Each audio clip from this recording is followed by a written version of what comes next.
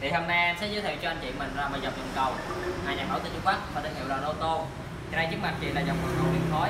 thì nó cũng giống như hầu hết tất cả các dòng cầu liên khối thôi thì cái đó là kiểu dáng dễ lau chùi thì cái đó mặc định rồi khỏi phải nói nhiều nữa nói nhiều với cầu nhưng mà quan trọng hôm nay đây test chế độ xả của cái dòng cầu này như thế nào xả kết mình đi mình xả nha chị nha.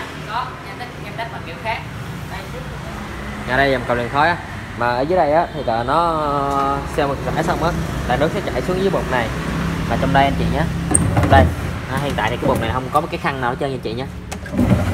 Đấy. Hiện tại cái dùng uh, em sẽ xả nước thử cho anh chị mình coi.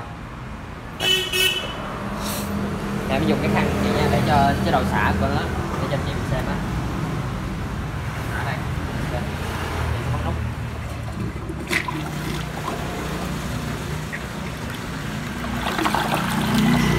Đó thì quan trọng bây giờ anh chị nhìn thử xem là cái chế độ xả nó nằm ở đâu anh chị nhé. Để khăn ở đâu nha. Trong một này hết nước rồi. Đây. Cái đoạn này đẹp không? Có cái đoạn xả đang không cắt cái ghép trên trên anh chị nhé. Đây khăn nằm đây. À, thì anh chị biết là cái chế độ xả nó mạnh cỡ nào rồi? Tại vì những cái dòng cầu nhập khẩu mà từ hàng uh, Trung Quốc về Việt Nam mình đó anh chị. Rồi thì hiện tại nó đang áp dụng cái công nghệ xả này. Khi mà cái thành nó dễ lau chùi lắm. Nó trên đây dễ lau chùi lắm và này cái giá của bột cầu nó chỉ hơn 2 triệu thôi chỉ hơn 2 triệu thôi. Mỗi bột cầu American này là một bột cầu của American. Để em test thử cái bột sản phẩm này.